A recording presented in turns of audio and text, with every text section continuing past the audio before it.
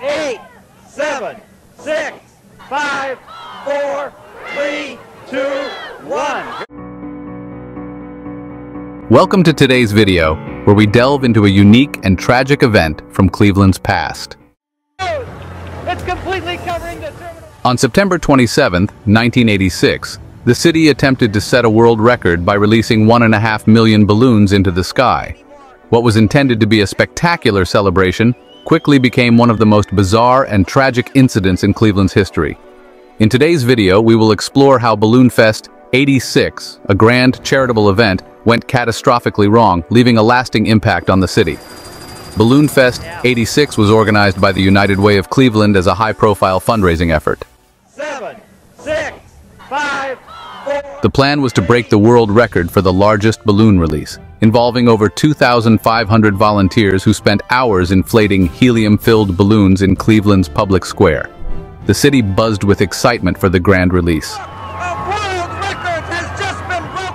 However, what was expected to be a visual marvel soon turned into chaos. Shortly after the balloons took flight, a cold front brought rain and strong winds. Instead of drifting away as planned, the balloons were pushed back down, landing across the city, Lake Erie, and surrounding areas. The fallout was immediate. Balloons clogged streets, blanketed the surface of Lake Erie, and caused accidents as drivers were distracted. Tragically, the situation took a darker turn. Earlier that day, two fishermen had disappeared on Lake Erie. The U.S. Coast Guard's search and rescue operations were hampered by the balloon coverage, and unfortunately, the fishermen were later found drowned, their rescue efforts obstructed by the balloons. Longer posing a threat to fish and wildlife, and they're not The aftermath of the Balloon. Fest in 86 was profound. The United Way faced numerous lawsuits, including one from the fishermen's families. What was meant to be a symbol of charity and unity became a cautionary tale of how even the best intentions can lead to disaster.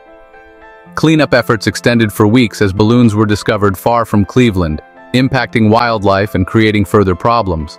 What began as a proud achievement turned into a significant blemish on the city's history. Balloon Fest 86 serves as a stark reminder of the unforeseen consequences that can arise from large-scale public events. It highlights the importance of thorough planning and consideration of potential risks, even in the pursuit of grand goals. Thank you for joining us today. If you found this story intriguing, please like, share, and subscribe for more content. And remember, even the grandest ideas require careful planning.